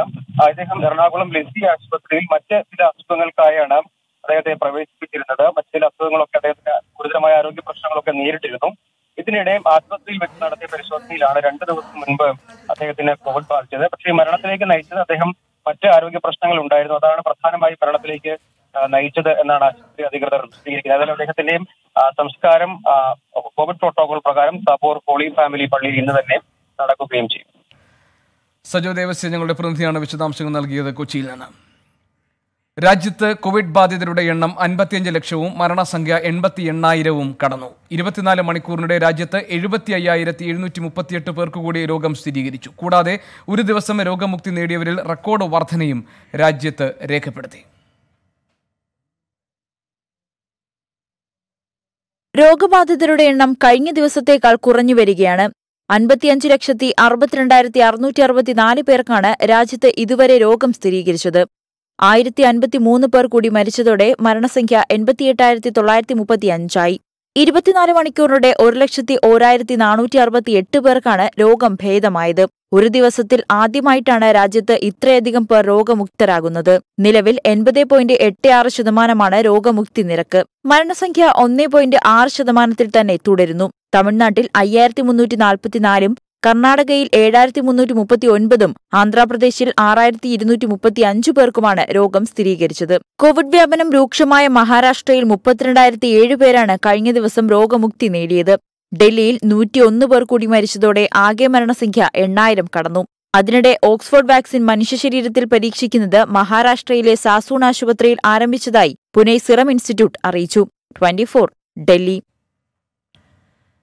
ജുവലറി നിക്ഷേപ തട്ടിപ്പ് കേസിൽ M C Kamaruddin M L എയെ ഉടൻ ചോദ്യം ചെയ്യുമെന്ന് ക്രൈംബ്രാഞ്ച് എസ് പി മൊയ്തീൻ കുട്ടി അന്വേഷണത്തിൽ മറ്റ് സമ്മർദ്ദങ്ങളില്ല. ശരിയായ ദിശയിലാണ് അന്വേഷണം പുരോഗമിക്കുന്നത്. തെളിവുകൾ ശേഖരിച്ചു വരികയാണ്. ആവശ്യമായ ഘട്ടത്തിൽ അന്വേഷണ സംഘം വിപുലീകരിക്കുമെന്നും എസ് പി പറഞ്ഞു. യാതൊരു സമ്മർദ്ദവുമില്ല.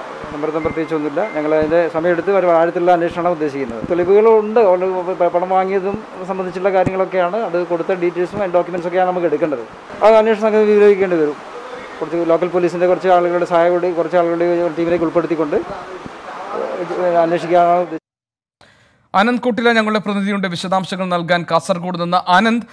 M C Kamaruddin jewellery തട്ടിപ്പ് കേസിൽ എം സി കമറുദ്ദീനെതിരായിട്ടുള്ള അന്വേഷണം ശക്തിപ്പെടുത്താനുള്ള തീരുമാനമാണല്ലോ ക്രൈംബ്രാഞ്ച് ഉണ്ടാ എടുത്തിരിക്കുന്നത്. മാത്രമല്ല ആഴത്തിലുള്ള അന്വേഷണം വേണമെന്നാണ് എസ് പറഞ്ഞിരിക്കുന്നത്. എന്തൊക്കെയാണ് ആനന്ദ് വിശദാംശങ്ങൾ? ഗോപികൃഷ്ണൻ ക്രൈംബ്രാഞ്ച് അന്വേഷണം ആരംഭിച്ചിട്ട് ഒരു പ്രാരംഭ ഘട്ടത്തിലാണ് എന്നതാണ് ക്രൈംബ്രാഞ്ച് എസ് പി മൊയ്തീൻകുട്ടി മാധ്യമങ്ങളോട് പ്രതികരിച്ചത്. പതിമൂന്ന് കേസുകളാണ് നിലവിൽ കാസർഗോഡ് ചന്ദേര പോലീസ് സ്റ്റേഷനുകളിലായി രജിസ്റ്റർ ചെയ്യപ്പെട്ട പതിമൂന്ന് കേസുകളാണ് ക്രൈംബ്രാഞ്ചിന് കൈമാറിയത്. ഈ പതിമൂന്ന് കേസുകളിൽ അന്വേഷണം ആരംഭിച്ചിട്ടുണ്ട്. പരാതിക്കാരുടെ മൊഴി അടക്കം രേഖപ്പെടുത്തുന്ന നടപടികൾ ക്രൈംബ്രാഞ്ച് ഇതിനോടകം കൈക്കൊണ്ടിട്ടുണ്ട്. ഇനി വിശദമായ അന്വേഷണത്തിലേക്ക് കടക്കുക എന്നുള്ളതാണ് അടുത്ത നടപടി. അത് M C Kamaruddin M L A ഉടൻ ചോദ്യം ചെയ്ത് അടക്കമുള്ള നടപടികളിലേക്ക് ക്രൈംബ്രാഞ്ച് കടക്കുമെന്നുള്ള വിവരമാണ് ഇന്ന് എസ് പി മൊയ്തീൻകുട്ടി മാധ്യമങ്ങളോട് പങ്കുവച്ചത്. തെളിവുകളെല്ലാം ശേഖരിച്ചു വരികയാണെന്നും മറ്റ് ബാഹ്യ സമ്മർദ്ദങ്ങൾ ഈ അന്വേഷണ ഘട്ടത്തിൽ നേതാക്കളുടെയോ രാഷ്ട്രീയ പാർട്ടികളുടെയോ മറ്റ് ഇടപെടലുകളോ ബാഹ്യ സമ്മർദ്ദങ്ങളോ കേസിനെ ബാധിക്കുന്നില്ല എന്നും അത്തരത്തിലുള്ള പ്രശ്നങ്ങളില്ല എന്നും എസ് പി ഒരിക്കൽ കൂടി വ്യക്തമാക്കുകയുണ്ടായി. ഏതായാലും കേസ് അന്വേഷണം വളരെ കാര്യമായി സമഗ്രമായ ഒരു അന്വേഷണം നടത്തുക എന്നത് തന്നെയാണ് ക്രൈംബ്രാഞ്ച് ലക്ഷ്യം വെക്കുന്നത്. ശാസ്ത്രീയമായ അന്വേഷണമാകും. തെളിവുകളൊന്നും നശിപ്പിക്കപ്പെട്ടിട്ടില്ല. ആവശ്യമായ തെളിവുകൾ ശേഖരിച്ച് ശേഖരിച്ചു വരികയാണെന്നും നിലവിൽ രജിസ്റ്റർ ചെയ്യപ്പെട്ട മറ്റ് പരാതികൾ കൂടി ക്രൈംബ്രാഞ്ചിലേക്ക് കൈമാറുന്ന മുറയ്ക്ക്. ഈ വേണ്ടി വന്നാൽ അന്വേഷണ സംഘത്തെ വിപുലീകരിച്ചുള്ള ഒരു കേസ് കേസന്വേഷണമായിരിക്കും ക്രൈംബ്രാഞ്ച് ക്രൈംബ്രാഞ്ചിന്റെ ഭാഗത്തു നിന്നുണ്ടാവുക. അതിന് ലോക്കൽ പോലീസിന് സഹായം അടക്കം തേടിക്കൊണ്ടുള്ള നടപടികളിലേക്ക് കടക്കുക എന്നുള്ളതാണ് ഈ ഘട്ടത്തിൽ ആനന്ദ്. ഞങ്ങളുടെ പ്രതിനിധിയാണ് വിശദാംശങ്ങൾ നൽകിയത് കാസർഗോഡ് നിന്ന്. സ്വർണക്കള്ളക്കടത്ത് ലൈഫ് മിഷനിലെ കോഴ പ്രളയ തട്ടിപ്പ് സർക്കാരിന്റെ മറ്റ് അഴിമതികൾ എന്നിവ സി ബി ഐ അന്വേഷിക്കുക അന്വേഷിക്കുക എൻ ഐ എ ചോദ്യം ചെയ്ത മന്ത്രി കെ ടി ജലീലിനെ പുറത്താക്കുക മുഖ്യമന്ത്രി പിണറായി വിജയൻ രാജിവെക്കുക തുടങ്ങിയ ആവശ്യങ്ങൾ ഉന്നയിച്ച് യു ഡി എഫ് സംസ്ഥാന വ്യാപക സത്യഗ്രഹ പ്രതിഷേധം സംഘടിപ്പിച്ചു. തിരുവനന്തപുരത്ത് സെക്രട്ടേറിയറ്റിന് മുന്നിലും മറ്റു ജില്ലകളിൽ കലക്ടറേറ്റുകൾക്ക് മുന്നിലുമായിരുന്നു പ്രതിഷേധം. പിണറായി സർക്കാരിന് പുഴുത്തുനാറി പുറത്തു പോകേണ്ടി വരുമെന്ന് സെക്രട്ടേറിയറ്റിന് മുന്നിലെ പ്രതിഷേധം ഉദ്ഘാടനം ചെയ്ത പ്രതിപക്ഷ നേതാവ് രമേശ് ചെന്നിത്തല പറഞ്ഞു. വരും ദിവസങ്ങളിൽ പ്രതിഷേധങ്ങൾ കൂടുതൽ ശക്തമാക്കുമെന്ന് മുൻ മുഖ്യമന്ത്രി ഉമ്മൻചാണ്ടി മുന്നറിയിപ്പ് നൽകി. സാലറി കട്ടിൽ ജീവനക്കാരുടെ സംഘടനകളുമായി ധനമന്ത്രി doctor T M Thomas Isaac ഇന്ന് ചർച്ച നടത്തും. വൈകിട്ട് നാല് മണിക്ക് ഓൺലൈൻ വഴിയാണ് ചർച്ച. എല്ലാ സംഘടനകളും എതിർപ്പറിയിച്ച സാഹചര്യത്തിൽ സമവായമുണ്ടാക്കാനാണ് ധനമന്ത്രി ചർച്ച നടത്തുന്നത്. സാമ്പത്തിക പ്രതിസന്ധിയുടെ പേരിൽ ജീവനക്കാരുടെ ശമ്പളം മാറ്റിവെക്കാനുള്ള തീരുമാനത്തിനെതിരെ പ്രതിപക്ഷ സംഘടനകൾ ഉൾപ്പെടെയുള്ള എല്ലാ സംഘടനകളും എതിർപ്പറിയിച്ചിരുന്നു. ശമ്പളം മാറ്റിവെക്കാനുള്ള ഉത്തരവിറങ്ങിയാൽ അന്നു മുതൽ തന്നെ പണിമുടക്കുമെന്ന് പ്രതിപക്ഷ സംഘടനകൾ വ്യക്തമാക്കി. പിന്നാലെ സി പി ഐ അനുകൂല സംഘടനയായ ജോയിന്റ് കൗൺസിലും സി പി എം അനുകൂല സംഘടനയായ എൻ ജി ഒ യൂണിയനും എതിർപ്പുമായി രംഗത്തെത്തി. കോവിഡ് പ്രതിരോധത്തിൽ മുന്നിൽ നിൽക്കുന്ന ഡോക്ടർമാരുടെ ശമ്പളം പിടിക്കുന്നതിൽ കെ ജി എം ഒയും ശക്തമായി എതിർപ്പ് അറിയിച്ചിരുന്നു ഈ സാഹചര്യത്തിലാണ് സമവായ ശ്രമവുമായി സർക്കാർ വീണ്ടും ചർച്ചയ്ക്ക് തയ്യാറായത്. സംസ്ഥാനത്തെ സാമ്പത്തിക നില ചർച്ചയിൽ സർക്കാർ വ്യക്തമാക്കും. ശമ്പളം മാറ്റിവെക്കാനുള്ള തീരുമാനമെടുത്തില്ലെങ്കിൽ സാമ്പത്തിക പ്രതിസന്ധി രൂക്ഷമാകുമെന്നും സർക്കാർ അറിയിക്കും. എന്നാൽ കഴിഞ്ഞ തവണ മാറ്റിവെച്ച ശമ്പളം പി എഫിൽ ലയിപ്പിക്കാതെ ഈ സാമ്പത്തിക വർഷം തന്നെ പണമായി നൽകണമെന്ന ആവശ്യമാണ് എല്ലാ സംഘടനകൾക്കും ഉള്ളത് ജീവനക്കാർക്ക് ചില ആശ്വാസ പദ്ധതികൾ പ്രഖ്യാപിച്ചുകൊണ്ടുള്ള സമവായ ശ്രമത്തിനാണ് സർക്കാർ നീക്കം. Twenty Thiruvananthapuram. You are watching 24 from News Headquarters, Kochi. വാർത്തയിലേക്ക് വീണ്ടും. സംസ്ഥാനത്ത് ഇന്നും വിവിധയിടങ്ങളിൽ മഴ തുടരുകയാണ്. വടക്കൻ കേരളത്തിലും മധ്യ കേരളത്തിലുമാണ് ശക്തമായ മഴയ്ക്ക് സാധ്യത പ്രവചിക്കുന്നത്. ഇന്ന് പന്ത്രണ്ട് ജില്ലകളിൽ മഴ മുന്നറിയിപ്പുണ്ട്. തിരുവനന്തപുരം കൊല്ലം പത്തനംതിട്ട ആലപ്പുഴ കോട്ടയം എറണാകുളം ഇടുക്കി തൃശൂർ മലപ്പുറം കോഴിക്കോട് കണ്ണൂർ കാസർഗോഡ് എന്നീ ജില്ലകളിലാണ് ഇന്ന് യെല്ലോ അലർട്ട് പ്രഖ്യാപിച്ചിരിക്കുന്നത്. ഇന്നുകൂടി സംസ്ഥാനത്ത് കനത്ത മഴ തുടരുമെന്നാണ് മുന്നറിയിപ്പ്. നാളെ സംസ്ഥാനത്തെവിടെയും മഴ മുന്നറിയിപ്പ് പ്രഖ്യാപിച്ചിട്ടില്ല. തെക്കൻ ചൈനക്കടലിൽ രൂപപ്പെട്ട നോൾ ചുഴലിക്കാറ്റ് ദുർബലമായി ബംഗാൾ ഉൾക്കടലിൽ പ്രവേശിച്ച് ന്യൂനമർദ്ദം രൂപപ്പെട്ടിരുന്നു. ഈ ന്യൂനമർദ്ദം പടിഞ്ഞാറൻ വടക്ക് പടിഞ്ഞാറൻ ദിശയിൽ സഞ്ചരിക്കാനാണ് സാധ്യത. പൊതുജനങ്ങൾ ജാഗ്രത പാലിക്കാനും സർക്കാർ സംവിധാനങ്ങളോട് മുൻകരുതൽ നടപടികൾ സ്വീകരിക്കാനും സംസ്ഥാന ദുരന്ത നിവാരണ അതോറിറ്റി നിർദ്ദേശം നൽകി. മലയോര മേഖലകളിലേക്കുള്ള രാത്രിയാത്ര പൂർണമായി ഒഴിവാക്കണം. കേരള തീരത്ത് ശക്തമായ കാറ്റിനും ഉയർന്ന തിരമാലയ്ക്കും സാധ്യതയുണ്ട്. കടൽ പ്രക്ഷുബ്ധമാകാൻ സാധ്യതയുള്ളതിനാൽ മത്സ്യത്തൊഴിലാളികൾ കടലിൽ പോകരുതെന്ന് കർശന മുന്നറിയിപ്പുണ്ട്. കടലേറ്റ ഭീഷണിയുള്ളതിനാൽ തീരമേഖലയിൽ താമസിക്കുന്നവരും ജാഗ്രത പുലർത്തണം. ട്വന്റി തിരുവനന്തപുരം. കൊല്ലം അഴീക്കലിൽ മത്സ്യബന്ധന ബോട്ട് തകർന്ന് ഒരാൾ മരിച്ചു. കാണാതായ ഒരാൾക്ക് വേണ്ടിയുള്ള തിരച്ചിൽ തുടരുകയാണ്. വിലക്ക് ലംഘിച്ച് മത്സ്യബന്ധനത്തിന് പോയ ബോട്ടാണ് അപകടത്തിൽപ്പെട്ടത്. കോസ്റ്റൽ പോലീസിന്റെ കണ്ണുവെട്ടിച്ച് മത്സ്യബന്ധനത്തിനായി പോയ ദിയ എന്ന ബോട്ടാണ് അപകടത്തിൽപ്പെട്ടത്. ശക്തമായ തിരയിൽപ്പെട്ട് ബോട്ട് തകർന്നായിരുന്നു അപകടം. ഇന്ന് പുലർച്ചെയായിരുന്നു അപകടമുണ്ടായത്. ബോട്ടിൽ അഞ്ചു പേരുണ്ടായിരുന്നു സ്രായ്ക്കാട് സ്വദേശി സുധനാണ് മരിച്ചത്. സ്രായ്ക്കാട് സ്വദേശിയും ബോട്ടുടമയുമായ അശോകനെയാണ് കാണാതായത്. ഇയാൾക്കായി കോസ്റ്റൽ പോലീസ് ഉൾപ്പെടെ തിരച്ചിൽ തുടരുകയാണ്. പ്രദേശത്തെ സാഹസിക നീന്തൽ താരത്തെ ഉൾപ്പെടെ എത്തിച്ച് തിരച്ചിൽ ശക്തമാക്കാനാണ് നീക്കം. ബോട്ടിലുണ്ടായിരുന്ന മറ്റ് മൂന്നുപേർ പരുക്കുകളോടെ രക്ഷപ്പെട്ടു. ഇവരെ ആശുപത്രിയിൽ പ്രവേശിപ്പിച്ചു. അതിശക്തമായ മഴയുടെയും കാറ്റിന്റെയും പശ്ചാത്തലത്തിൽ കടൽക്ഷോഭ മുന്നറിയിപ്പുണ്ടായിരുന്നു. ഇതുകൊണ്ട് തന്നെ മേഖലയിൽ മത്സ്യബന്ധന വിലക്കേർപ്പെടുത്തിയിരുന്നു. എന്നാൽ കോസ്റ്റൽ പോലീസിന്റെ കണ്ണുവെട്ടിച്ചാണ് ഈ ബോട്ട് കടലിൽ ഇറങ്ങിയത്. ട്വന്റി കൊല്ലം. കായംകുളം നഗരസഭയിലെ അഞ്ച് ആരോഗ്യ പ്രവർത്തകർക്ക് കോവിഡ് മൂന്ന് ജൂനിയർ ഹെൽത്ത് ഇൻസ്പെക്ടർമാർക്കും രണ്ട് ലാസ്റ്റ് ഗ്രേഡ് ജീവനക്കാർക്കുമാണ് രോഗം സ്ഥിരീകരിച്ചത്. താൽക്കാലികമായി അടച്ച നഗരസഭ അണുനശീകരണ പ്രവർത്തനങ്ങൾക്ക് ശേഷം തുറക്കുമെന്ന് ചെയർമാൻ എൻ. ശിവദാസ് അറിയിച്ചു. ലോകത്ത് കോവിഡ് ബാധിച്ച് മരിച്ചവരുടെ എണ്ണം ഒൻപത് ലക്ഷത്തി അറുപത്തി ഒൻപതിനായിരത്തി മുന്നൂറ്റി അറുപത്തി ഏഴായി മൂന്ന് കോടി പതിനാല് ലക്ഷത്തി തൊണ്ണൂറ്റി ആറായിരത്തി അറുന്നൂറ്റി നാൽപ്പത്തി നാല് പേർക്ക് രോഗം സ്ഥിരീകരിച്ചു. രണ്ട് കോടി മുപ്പത്തിയൊന്ന് ലക്ഷത്തി ഇരുപത്തി നാലായിരത്തി എഴുന്നൂറ്റി തൊണ്ണൂറ്റിയെട്ട് പേർ രോഗം ഭേദമായി ആശുപത്രി വിട്ടു. ലോകത്ത് ഇന്നലെ രണ്ട് ലക്ഷത്തി ഇരുപത്തി അയ്യായിരത്തി അറുന്നൂറ്റി നാൽപ്പത്തിനാല് പുതിയ കേസുകളും മൂവായിരത്തി തൊള്ളായിരത്തി എൺപത്തിയെട്ട് മരണവും റിപ്പോർട്ട് ചെയ്തു. അമേരിക്കയിൽ ഇന്നലെ മുന്നൂറ്റി അൻപത്തിയേഴ് പേർ കൂടി മരിച്ചതോടെ മരണസംഖ്യ രണ്ട് ലക്ഷത്തി നാലായിരത്തി നാനൂറ്റി എഴുപത്തിയഞ്ചായി മുപ്പത്തി അയ്യായിരത്തി തൊള്ളായിരത്തി തൊണ്ണൂറ്റിയൊൻപത് പുതിയ കേസുകളാണ് രാജ്യത്ത് ഇന്നലെ റിപ്പോർട്ട് ചെയ്തത്. ബ്രസീലിൽ ഇന്നലെ നാനൂറ്റി അൻപത്തി അഞ്ച് പേർ മരിച്ചു. ഒരു ലക്ഷത്തി മുപ്പത്തിയേഴായിരത്തി മുന്നൂറ്റി അൻപതാണ് രാജ്യത്തെ മരണസംഖ്യ. റഷ്യയിൽ എഴുപത്തിയൊന്ന് പേർ കൂടി മരിച്ചു. പത്തൊൻപതിനായിരത്തി നാനൂറ്റി എൺപത്തിയൊൻപതാണ് ഇവിടുത്തെ മരണസംഖ്യ. ദക്ഷിണാഫ്രിക്കയിലെ മരണസംഖ്യ പതിനയ്യായിരത്തി തൊള്ളായിരത്തി തൊണ്ണൂറ്റി രണ്ടായപ്പോൾ ചിലയിലേത് പന്ത്രണ്ടായിരത്തി ഇരുന്നൂറ്റി തൊണ്ണൂറ്റിയെട്ടായി മെക്സിക്കോയിൽ ഇരുന്നൂറ്റി മുപ്പത്തിയഞ്ച് പേർ കൂടി മരിച്ചതോടെ മരണസംഖ്യ എഴുപത്തിമൂവായിരത്തി നാനൂറ്റി തൊണ്ണൂറ്റിമൂന്നായി കൊളംബിയയിൽ മരണസംഖ്യ ഇരുപത്തിനാലായിരത്തി മുന്നൂറ്റി തൊണ്ണൂറ്റിയേഴ് ഫ്രാൻസിൽ അൻപത്തിമൂന്ന് പേരും ബ്രിട്ടനിൽ പതിനൊന്ന് പേരും ഇന്നലെ മരിച്ചു. ഇറ്റലിയിൽ പതിനേഴ് പേരും ജർമ്മനിയിൽ പതിനൊന്ന് പേരുമാണ് ഇന്നലെ മരിച്ചത്. ആറായിരത്തി നാനൂറ്റി ഇരുപതാണ് പാകിസ്ഥാനിലെ മരണസംഖ്യ. ഇന്തോനേഷ്യ ഒൻപതിനായിരത്തി അറുന്നൂറ്റി എഴുപത്തിയേഴ് കാനഡ ഒൻപതിനായിരത്തി ഇരുന്നൂറ്റി ഇരുപത്തിയെട്ട് ഫിലിപ്പൈൻസ് നാലായിരത്തി തൊള്ളായിരത്തി തൊണ്ണൂറ്റിയൊൻപത് ഇറാഖ് എണ്ണായിരത്തി അറുന്നൂറ്റി ഇരുപത്തിയഞ്ച് ഇക്വഡോർ പതിനോരായിരത്തി തൊണ്ണൂറ്റി അഞ്ച് എന്നിങ്ങനെയാണ് മറ്റു രാജ്യങ്ങളിലെ മരണനിരക്ക്. ഇന്റർനാഷണൽ ഡെസ്ക് ട്വന്റിഫോർ മലയാറ്റൂരിൽ സ്ഫോടനമുണ്ടായ ക്വാറിയുടെ എക്സ്പ്ലോസീവ് ലൈസൻസ് റദ്ദാക്കും. കേന്ദ്ര ഏജൻസിയായ പെസോയാണ് വിജയ ക്വാറിക്ക് എക്സ്പ്ലോസീവ് ലൈസൻസ് നൽകിയിരുന്നത്. തകർന്ന കെട്ടിടത്തിൽ അനധികൃതമാണ് ആയാണ് സ്ഫോടക വസ്തുക്കൾ സൂക്ഷിച്ചിരുന്നത് എന്ന് കണ്ടെത്തിയിട്ടുണ്ട്. മലയാറ്റൂർ ഇല്ലിത്തോട്ടിലെ പാറമടയ്ക്ക് സമീപത്തെ കെട്ടിടത്തിലുണ്ടായ സ്ഫോടനത്തിൽ രണ്ട് ഇതര സംസ്ഥാന തൊഴിലാളികൾ മരിച്ച സംഭവത്തിലാണ് പെട്രോളിയം എക്സ്പ്ലോസീവ് സേഫ്റ്റി ഓർഗനൈസേഷന്റെ ഇടപെടൽ ക്വാറിക്കാവശ്യമായ സ്ഫോടക വസ്തുക്കൾ സൂക്ഷിക്കാനുള്ള കെട്ടിടത്തിന് മൂന്ന് കിലോമീറ്റർ അകലെയുള്ള കണിമംഗലത്താണ് അനുമതി നൽകിയിരുന്നത്. നൂറ്റി അൻപത് കിലോ സ്ഫോടക വസ്തുക്കൾ സൂക്ഷിക്കുന്നതിനുള്ള അനുമതിയാണ് വിജയ ക്വാറിക്ക് ഉണ്ടായിരുന്നത്. സ്ഫോടക വസ്തുക്കൾ സൂക്ഷിക്കുന്നതിനുള്ള അനുമതി കേന്ദ്ര ഏജൻസിയായ പെസോയാണ് നൽകുന്നത്. ഇരുപത്തിയഞ്ച് കിലോയ്ക്ക് താഴെയുള്ള സ്ഫോടക വസ്തുക്കൾക്ക് ജില്ലാ മജിസ്ട്രേറ്റിന് അനുമതി നൽകാം. പെസോയുടെ കൺട്രോളർ ഓഫ് എക്സ്പ്ലോസീവ് പ്രതിനിധി പി കെ റാണ സംഭവസ്ഥലം സന്ദർശിച്ചു. തകർന്ന കെട്ടിടത്തിൽ അനധികൃതമായാണ് സ്ഫോടക വസ്തുക്കൾ സൂക്ഷിച്ചിരുന്നതെന്ന് കണ്ടെത്തി. ഇതോടെയാണ് ലൈസൻസ് റദ്ദാക്കാനുള്ള തീരുമാനം. വിഷയത്തിൽ മജിസ്ട്രീരിയൽ തല അന്വേഷണത്തിന് കലക്ടർ ഉത്തരവിട്ടിരുന്നു. അഡീഷണൽ ജില്ലാ മജിസ്ട്രേറ്റാണ് സ്ഫോടനത്തെക്കുറിച്ച് അന്വേഷിക്കുന്നത്.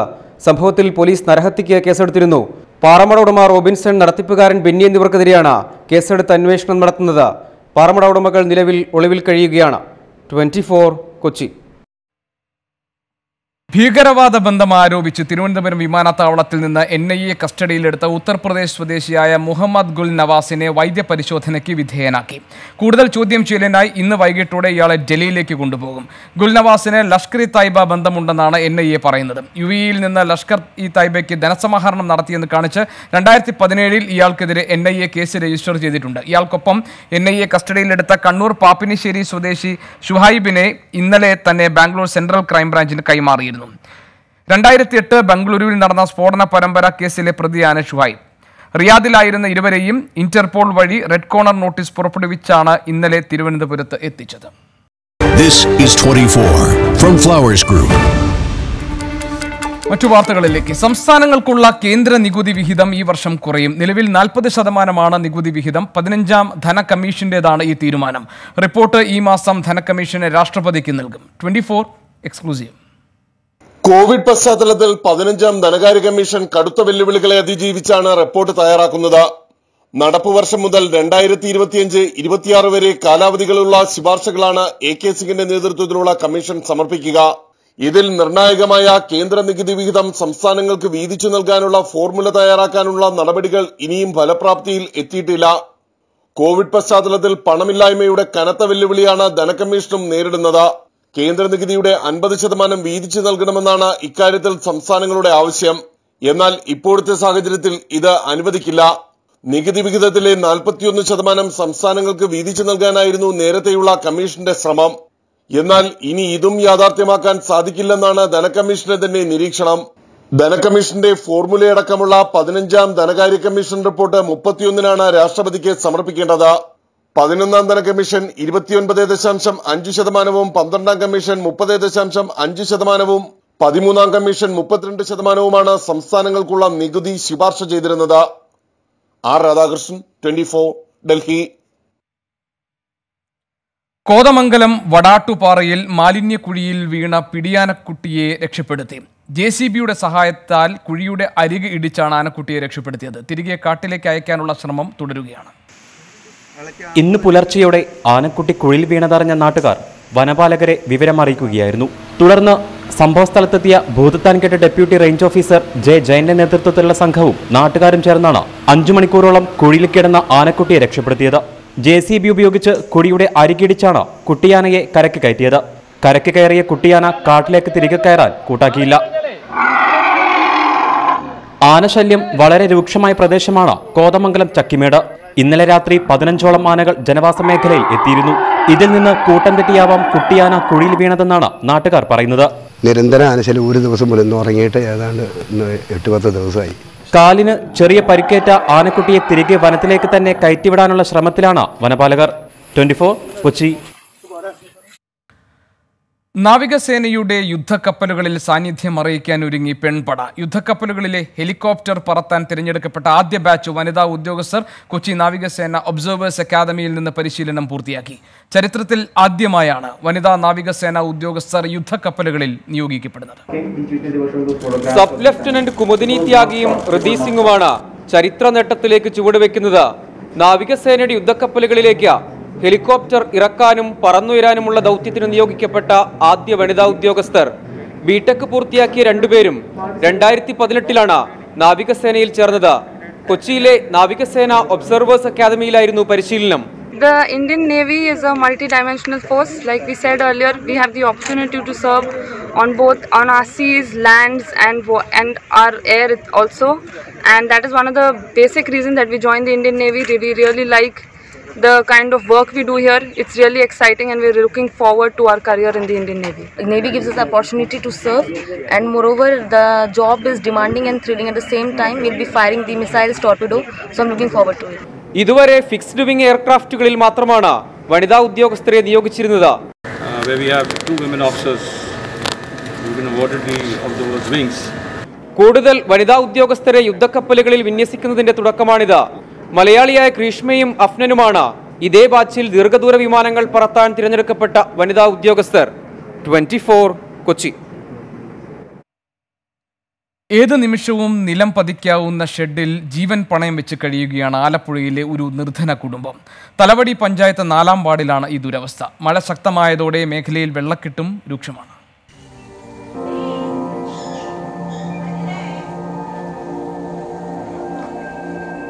ഞങ്ങൾ കിടക്കുന്ന കിടപ്പ് കണ്ട് എത്ര നാളുകൊണ്ട് ഇങ്ങനെ കിടക്കാൻ തുടങ്ങിയിട്ട് മൂന്നാഴ്ചകളുമായി വെള്ളം ഇതിനകത്തായിട്ട്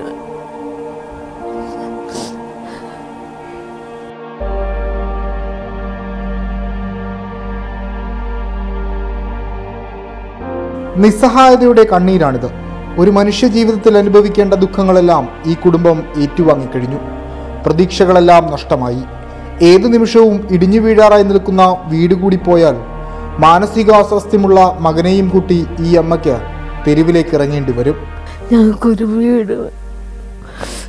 പിന്നെ ഞങ്ങൾ മൂന്നുപേരും രോഗികളാണ് ഞാനും മോനും അത്യാവശ്യം രോഗ രോഗിയുണ്ട്. ഭർത്താവിന് നടുവേദന ഷുഗറുണ്ടല്ലോ. അതുകൊണ്ട് പണിക്ക് പോവുകയൊക്കെ ചെയ്യുന്നു. ഞങ്ങൾ രണ്ടുപേരും തീരെ വയ്യാതായി കിടക്കുന്നത്.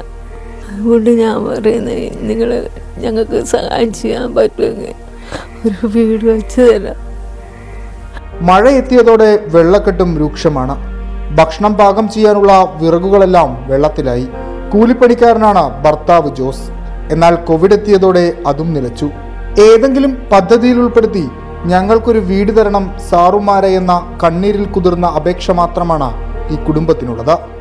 ക്യാമറമാൻ അലോഷിക്കൊപ്പം വിഷ്ണു സുരേഷ് ട്വന്റി ആലപ്പുഴ.